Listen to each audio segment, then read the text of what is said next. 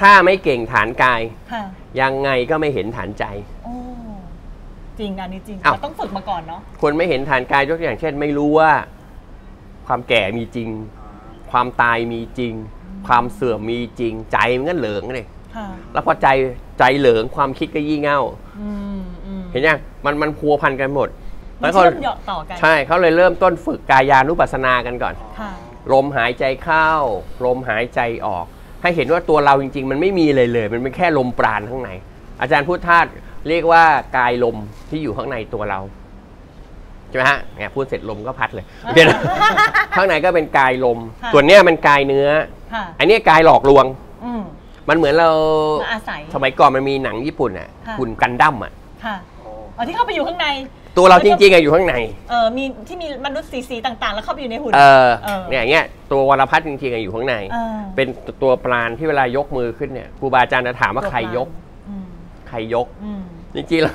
จริงๆแล้วไม่ใช่ไอ้ไอ้กายเนื้อนี่ยกนะ อืม มันใช้ข้างในยก คอนโทรลจากจิต ใช่เออถ้าคนเรียนมวยจีนมาเนี่ยเขาจะไม่ใช้กล้ามเนื้อเลยอ๋อเหรอคะ แล้วเขาทำยังไงอะคะ ใช้ชี้ยกเนี่ยมันจะขึ้นมาลมเหรอคะ คือผ่อนคลายทั้งหมดเลยอ๋อ จริงๆ ถ้าพูดง่ายๆ คือใช้กระดูกยกอ๋อทำให้ตอนแก่กระดูกแข็งแรงขึ้นอ๋อคนจีนเขาก็มาอีกขั้นหนึ่งแล้วดังการลำมวยจีนเนี่ยเป็นการให้รู้ว่าเฮ้ยนี่กายนอกเว้ยอ๋อให้รู้สึกเลย อ่าแล้วเขาก็หายใจเข้าอืมแล้วก็หายใจต้องออกทำตามอืมนี่ที่ถึงอาม่าหายที่ใจบ้านเลยเข้านะนะเห็นยังเออเออออเนี่ยเขาฝึกจนกระทั่งตัวมันจะเบาๆ พอตัวเบาปั๊บกายเบาใจเบาอืม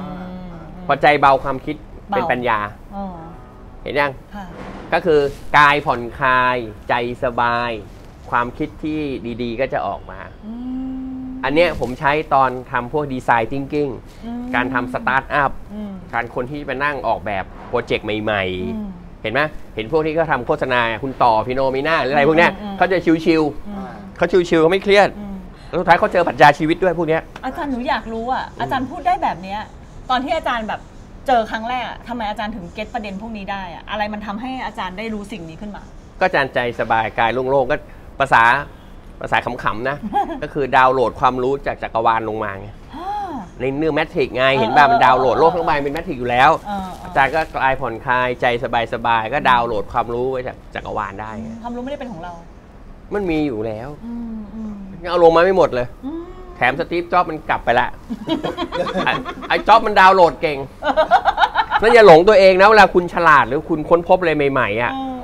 มันแค่เขาอาจจะลิให้ขิตยืมเออให้ยืมให้ยืมมาลิขิตมาให้คุณเป็นก็ได้ เหมือนหมอนวดบางคนอะเออนวดวันนี้ยังนวดไม่เป็นเลยเออวันรุ่งขึ้นแกอะไรลงก็ไม่รู้ปั๊บจับได้เส้นเลยได้มีแม่หมอนวดไทยอย่างนี้เยอะมากอืมแพทย์แผนโบราณก็เป็นอย่างนี้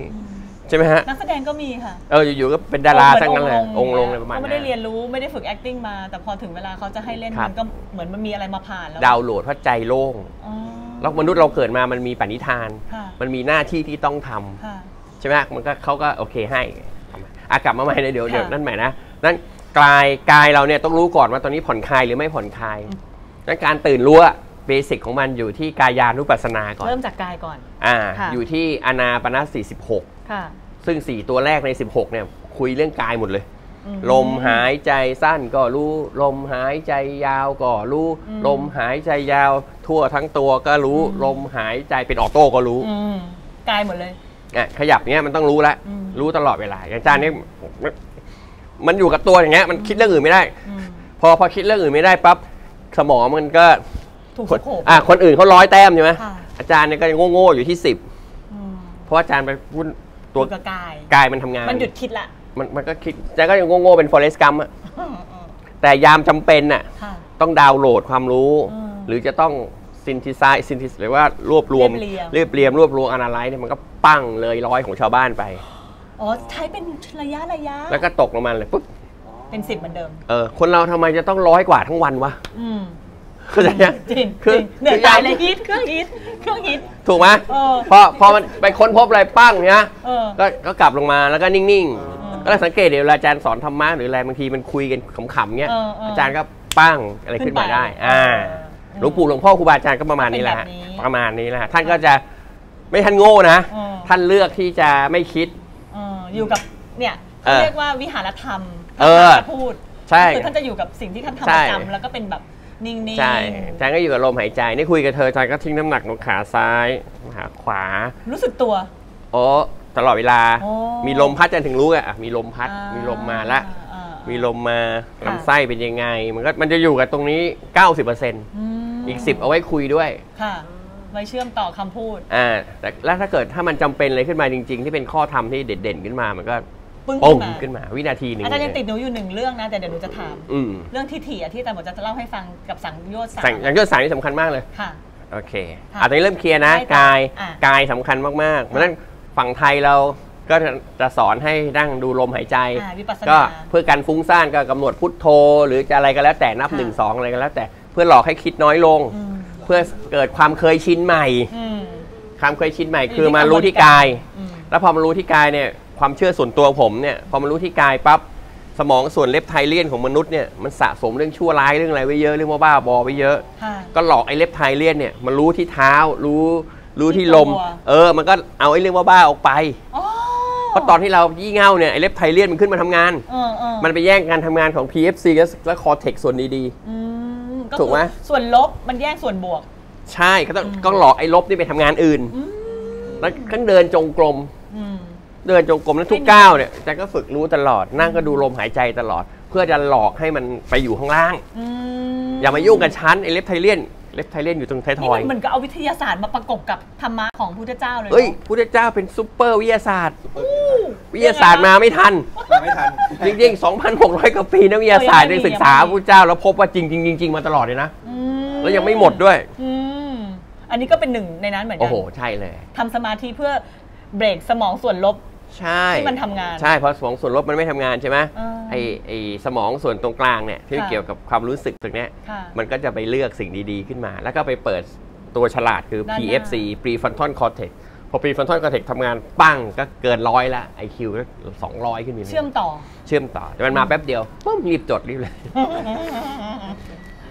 อืมแล้วถ้าเกิดพอเราจากได้จากฐานกายแล้วเราจะมาเคลียร์ฐานใจยังไงคะอาจารย์ อะพอคือฐานใจนี่ง่ายมาก ฐานใจปัญหามันอยู่ที่ความคิดอืมฉะนั้นเวลาเวลาที่ใจเรามีปัญหาเนี่ยค่ะตื่นรู้ก็หมายความว่าเฮ้ยกายค่าเครียดว่ะอืมเพราะฉะนั้นเราเลยต้องฝึกที่กายก่อนไงอืมอืมอะอย่างอย่างคนเรียนมวยจีนเนี่ยนะค่ะถ้าไหลยกเนี่ยคือเครียดเออใช่มันตึงมันตึงพอพอเครียดปั๊บก็แสดงว่าจิตใจไม่ดีหยุดคิด กายเครียดหยุดคิด กายเครียดหยุดคิดจำไว้นะคะเออกายเครียดหยุดคิดเออกายเครียดหยุดมีเหตุผลเอออ้าวเวลาทะเลาะกับมงกับเมียกับฟงกับแฟนเนี่ยค่ะ ที่มันทะเลาะกันเพราะเป็นคนมีเหตุผล ใช่ แล้วจะจะเคลียร์ให้จบด้วย เออแต่ถ้าคนที่มีหัวใจก็อะนี่คนรักเรา อืม ไม่มีเหตุผล ค่ะ รอสักพักหนึ่งให้คลายก่อน อยากอยากถามนะครับ ค่ะ ถามได้คือผมอะครับ มีนิสัยชอบเก่งร่างกายอะชอบเก่งบางส่วนอืมเป็นอัตโนมัติ แสดงว่ามันน่าจะมีปัญหาอะไรถ้าแฝคุณอยู่เครียดใช่ไหมบางอย่างอยู่ลึกค่ะอ๋อๆเครียดลึกมันเป็นสัญญาณที่สะท้อๆนเขาก็ลยเตือนเราใช่ไหมา แล้วพอเครียดจะจัดสุดท้ายก็มะเร็งกิน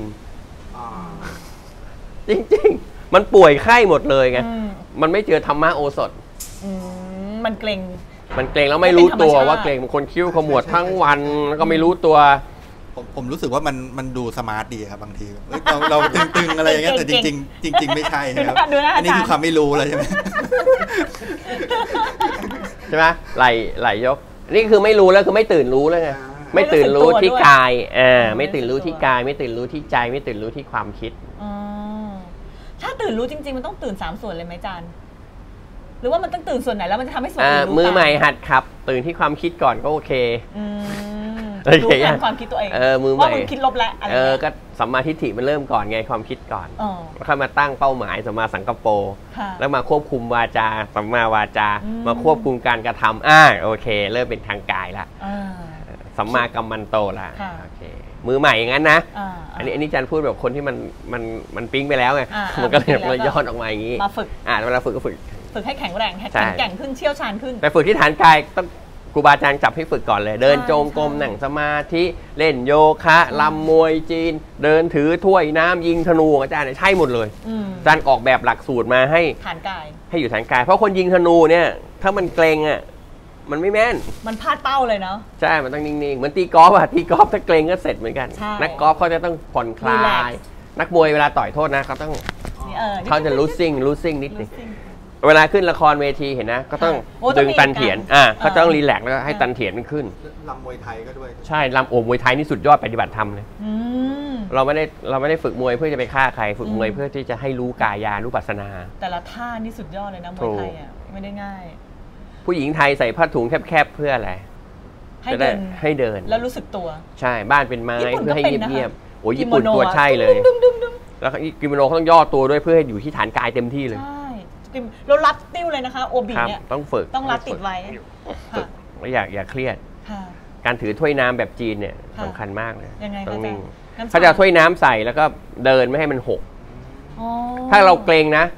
เกรงปั๊บแขนทั้งท่อนจะกลายเป็นท่อนเดียวกัน มันก็จะสวิงถูกป่ะอ่า แล้วเราผ่อนคลายเนี่ยกลายเป็นแต่ละท่อนอิสระต่อกันมันก็จะขยับไปตามอ่าแล้วมันจะไม่หก เหมือนล้อรถยนต์รุ่นใหม่ๆนะล้อสี่ล้ออิสระมันก็จะนิ่ม นึกออกไหมไอ้นี่แม่งรถกระบะโชคอัพตัวเดียว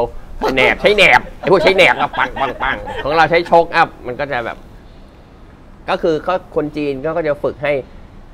สังเกตตื่นรู้ที่กาย คลาย คลาย อย่าเกรงคลาย คลายค่ะขอคารวะหนึ่งจอกท่านอาจารย์อย่างเอนี้ออย่างเงี้ยมันก็จะปึ๊บก็จะนิ่มอ๋อๆสบายๆชิว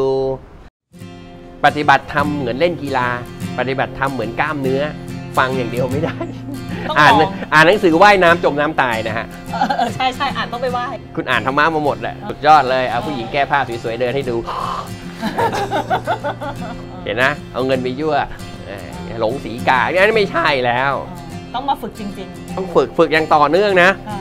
ถ้าพักผ่อนเอื่อยๆก็ต้องกระเริงมันใหม่อีก แล้วคนที่ทำงานเยอะๆไม่มีเวลาทำไงอาจารย์มันจะฝึกโอ้โห ยังไงคนงานเยอะนั่นแหละ แบบฝึกหัดปฏิบัติธรรมเยอะมากเลย ยังไงอาจารย์เอ้า ฝึกยังไง ก็ ลูกค้ากวนตีนก็หายใจลึกๆ มองเขาอย่าง unconditional love ยิงคำถามลูกค้า เปลี่ยนลูกค้าเป็นโค้ชชี่ คุณลูกค้ารู้สึกยังไงกับสินค้า คุณลูกค้าคิดว่าทำนี้ยังไงต่อคุณลูกค้าแล้วถ้าเป็นทำเจ้านายล่ะคะเจ้านายก็เหมือนกันเจ้านายคิดอะไรอยู่เจ้านายอยากเรื่องนี้สำเร็จเจ้านายคิดว่าเจ้านายควรทำยังไง